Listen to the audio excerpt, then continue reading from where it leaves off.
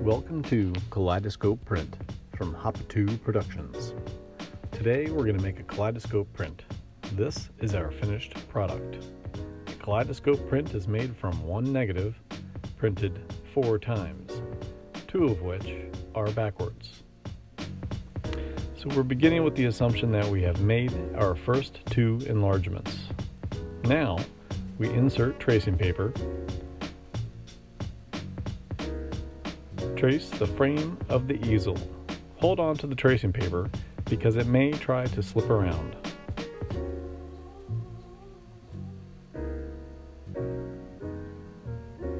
Once you have the frame traced, now trace everything in the image. Perhaps not everything, all the main lines would be sufficient.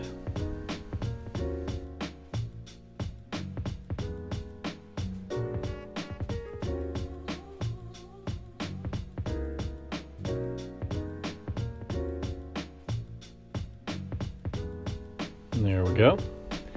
And now remove the tracing paper and flip it over. Now put that baby back into the easel. Line up the frame that you traced with the frame of the easel.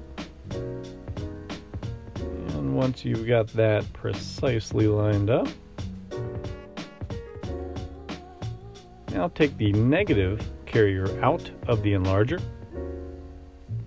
open it up, take the negative out, and flip it emulsion up. So it was emulsion down, now it's emulsion up. So they will be backwards.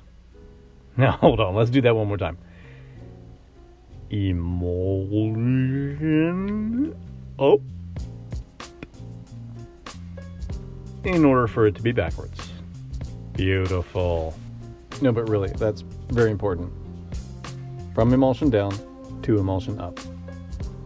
All right, when you're putting it back in, it might be a little bit tricky getting the negative to lay flat since it is upside down. But I know you can do it. Once you get it straightened out, close the negative carrier, line things up, and slip it back in that toaster. Excellent work. Okay. Next step, we're going to move the easel around until the image lines up with the projected image from the enlarger. Once you have that all lined up, we are ready to make our two backward prints. I don't know why I'm waiting so long here. So I will now open the easel take the tracing paper out. I don't need that anymore. Make sure that things are in focus still. Sometimes it gets knocked out of focus when you move the negative around. Once you ensure you're in focus, make two more prints. These are the four prints you should have, two proper and two backwards. Trim the white edges off and then figure out which part you're going to have meet in the middle you should have four options. These are mine.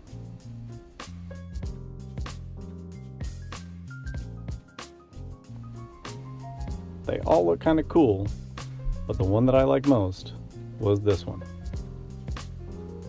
And after I put it together, I noticed it kind of looks like a face. The eyes in the middle there, little nostrils, and then the grain in the wood there of the uh, train trestle, whatever it might be, looks like it's a big mouth. Now that's awesome. So that's all we've got for you now. You know what it's time to do. Hop a two.